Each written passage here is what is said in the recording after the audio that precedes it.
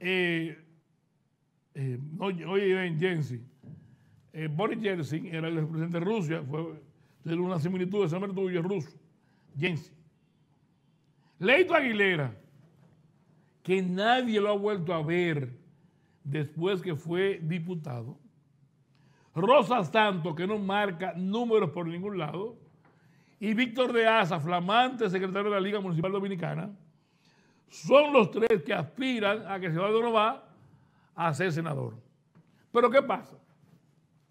Leito Aguilera no, no, no logra empatía porque lo único que es hijo de Leito Aguilera el del Centro Económico del Cibao, que hace las encuestas, que ya yo me imagino que no se a hacer una encuesta más ya, pues nadie la va a creer. Yo no puedo ser juez y parte. Entonces, Leito Aguilera es de la barba.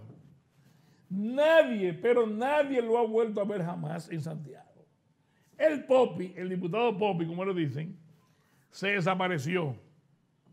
Pero yo me imagino que va a aparecer en estos días porque él cree que se le van a entregar en las manos la senaduría. Toma. No, papi. Además, tú no marcas números. La segunda, se la foto, Jesse, yo reí muchísimo. Es Rosa Santos, la actual gobernadora de Santiago, que en todas las mediciones no saca 000.1. O sea, no sale. No sale valorada en nada. La actual gobernadora Rosa Santos. Pero ya no tiene ni siquiera cuarto para pedir a la senaduría.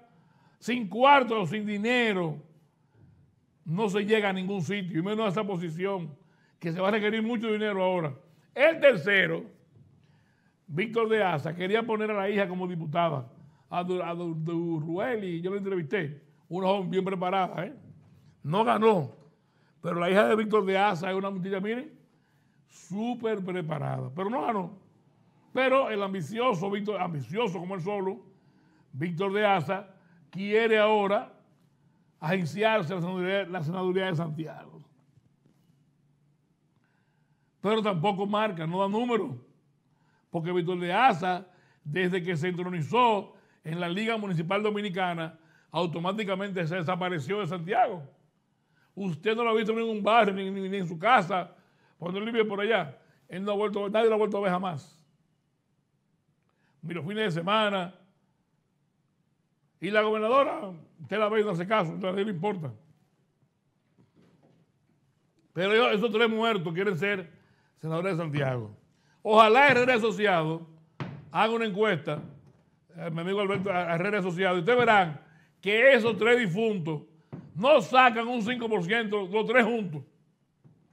Los tres juntos no sacan un 5%. Es otro infeliz que usted ve ahí funcionarios, diputados, gobernadora y de la liga. Y no sacan un 5% juntos. Los tres. Entonces, ¿qué es lo que quieren ser? ¿Qué es lo que están aspirando? ¿A qué? ¿A qué están aspirando?